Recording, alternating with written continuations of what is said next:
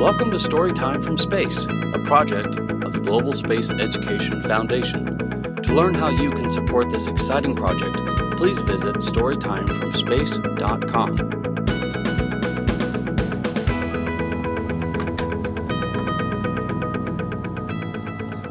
Hi, I'm NASA astronaut Shane Kimbrough. Today I'm going to be reading I, Humanity. I'm in the cupola, these beautiful windows looking down at planet Earth.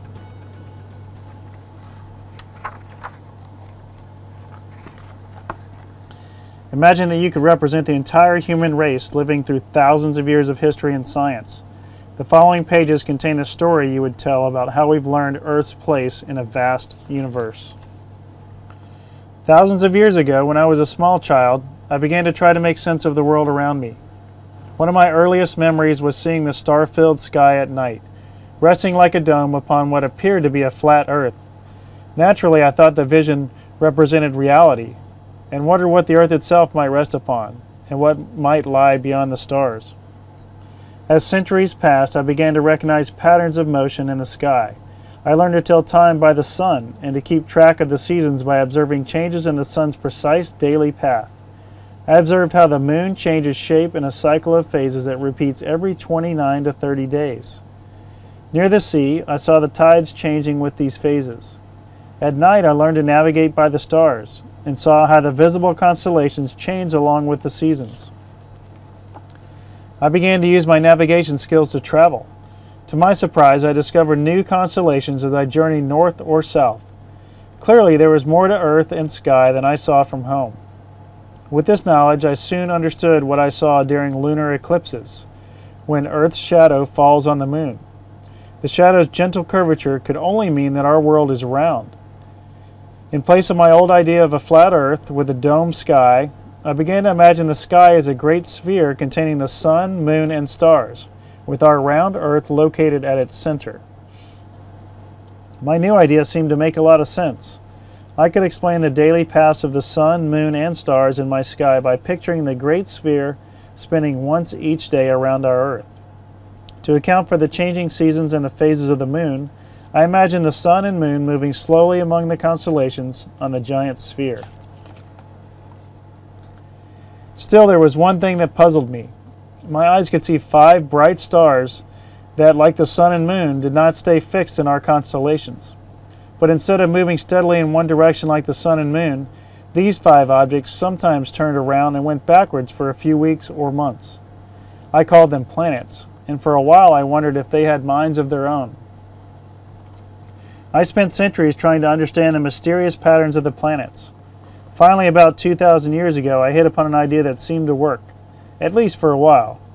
I imagined that each planet orbited around Earth in a small circle that turned upon a larger one, so that the planet would go backward when on the inner part of its circle. I used mathematics to make my picture of circles upon circles more precise, so that I could use it to predict when and where the planets would appear in the night sky. For more than a thousand years, I thought I had it all figured out. Earth was the center of the universe, the stars lay on a great sphere surrounding us, and the planets moved along their circles upon circles.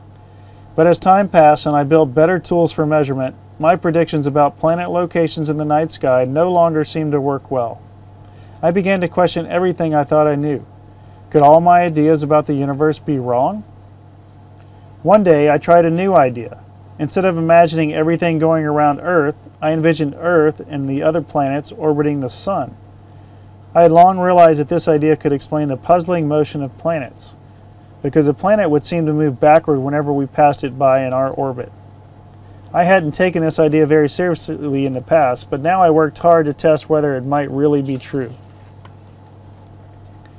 I soon discovered laws with which I could predict the locations of planets so precisely that I was almost sure my new idea was correct. I became even more convinced after I built my first telescopes. I saw moons orbiting Jupiter, proving that Earth was not the center of everything. I saw Venus appearing to change shape in a way that it proved it orbited the Sun and not the Earth. And I saw that the Milky Way stretching across my sky is made up of countless stars, which was proof that there is much more to the universe than meets the eye. By about 400 years ago, there was no more doubt in my mind. Earth is not the center of the universe, but just one of the planets orbiting our Sun. Now that I knew the planets orbited the Sun, I began to wonder why. To find out, I used the same approach that had worked so well for me already. I made careful observations, I looked for simple ways of making sense of these observations, and I used mathematics to make predictions that I could test with more observations. I call this approach science, and it soon proved my answer. The very same gravity that keeps my feet on the ground also holds the moon in orbit around the Earth and the planets in orbit around the Sun. I had discovered that I live in a universe in which the same laws hold both on Earth and in space. My new way of doing science also helped me create new technologies. Soon I was building more and larger telescopes, and each new telescope led me to new discoveries. I saw the ice caps of Mars and the rings of Saturn. I discovered two new planets that I'd never noticed with my own eyes. I also found many smaller objects orbiting the Sun along with the planets.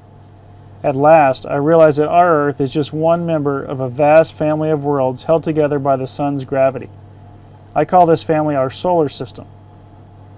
Most astonishingly, I became to realize that the stars are not mere lights in the night sky. The stars are distant suns, and each would appear as big and bright to a planet orbiting one of them as our sun does to us.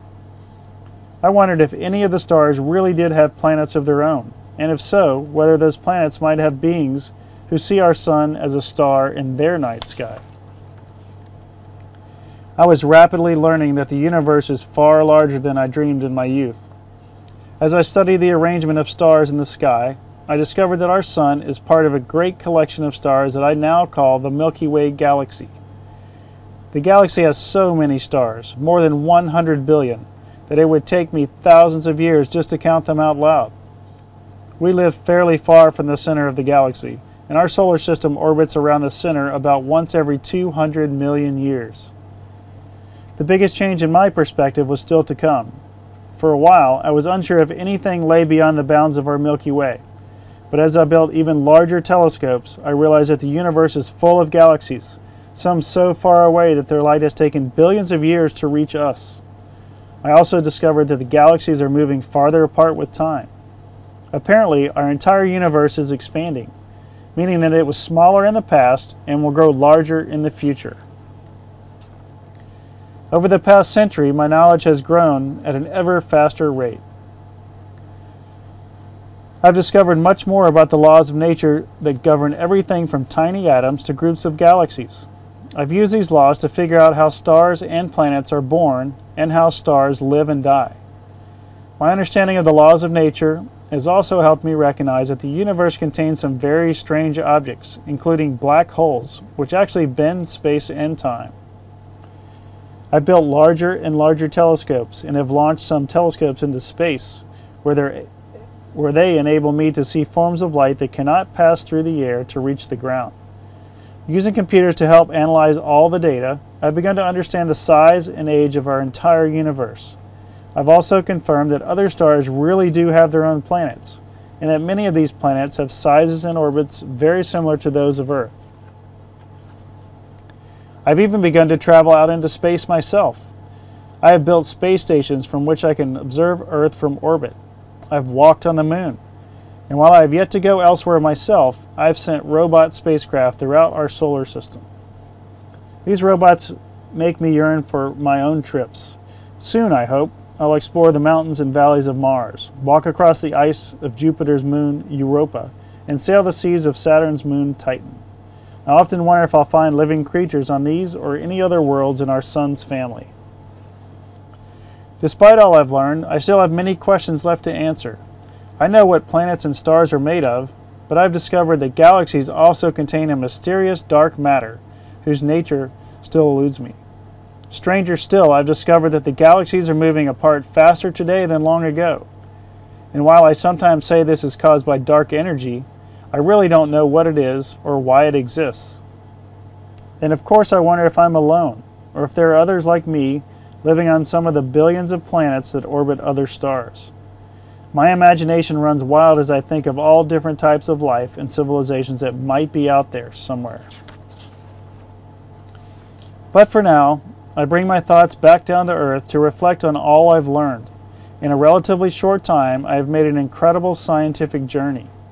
Where once I believed myself to be the center of the universe, I now know that I am just one species living on one small planet orbiting one ordinary star with just one of the billions of galaxies in a vast universe.